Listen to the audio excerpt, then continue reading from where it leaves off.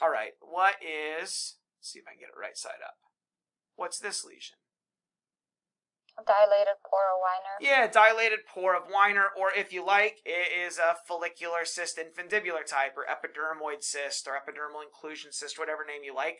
I think that the punctum of a follicular cyst, epidermoid cyst, is basically the same thing as a dilated pore. So if it looks like this and doesn't have a nice well-formed cyst underneath, call it dilated pore. Or if you guys as the dermatologist tell me you want to dilate a pore and I see that, I'll say dilated pore. If someone says they want a cyst, I'll say fine, it's a cyst. I really think they're two ends of the same spectrum. A dilated hair follicle opening, same kind of lining, that looks just like the epidermis, it's got a granular layer, usually loose, flaky keratin.